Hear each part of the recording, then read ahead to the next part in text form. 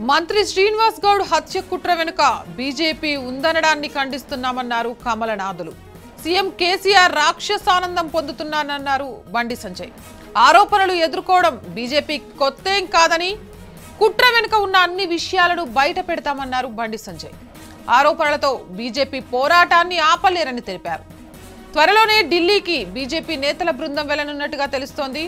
శ్రీనివాస్ రెడ్డి ఘటనపై హైకమాండ్కు బండి నివేదిక ఇవ్వనున్నారు.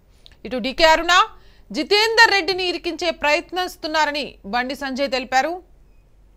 సాయంత్రం బీజేపీ లీగల్ సెల్తో బండి మీటింగ్ నిర్వహించనున్నారు.